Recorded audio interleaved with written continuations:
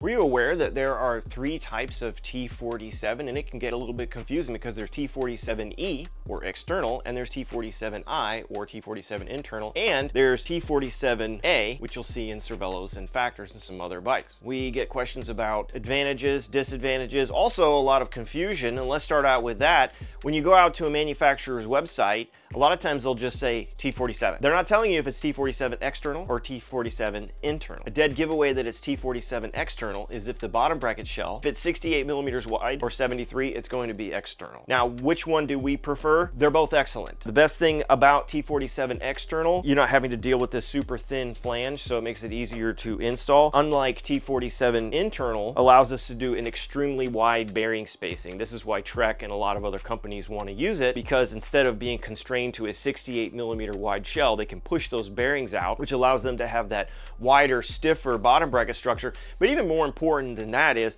it allows the chainstays to start out in a very wide position because they don't have to come from a narrow position at 68 millimeters and then sweep out and that adds dimension. So it allows for those larger tires to be much closer to the bottom bracket shell for a shorter chainstay and a different feel in the steering performance and maneuverability. T47i and its cousin T47a it's basically a T47i that just pushes a little bit further through the frame to expose this nose coming out because T47a which you'll find in Factor and Cervelo and a couple of other bikes is basically T47i on one side and T47 external on the other. Kind of like the two-phased version for a wider stance, but also really excellent clearance for chain rings, spider backplates, especially with power meters in them like an SRM or a Quarq. It gives more space for that so it's not rubbing up against this flange, which can happen on some of those. So there you go. That difference between T47E and T47I is important to know. Sometimes that information can be difficult to find on a manufacturer website, so all you have to do is measure the bottom bracket shell. If it's a narrow one, it's gotta be T47E. And if it's a wide bottom bracket shell, like 86.5, it's going to be in that T47I family. BB Infinite, check the link in our bio.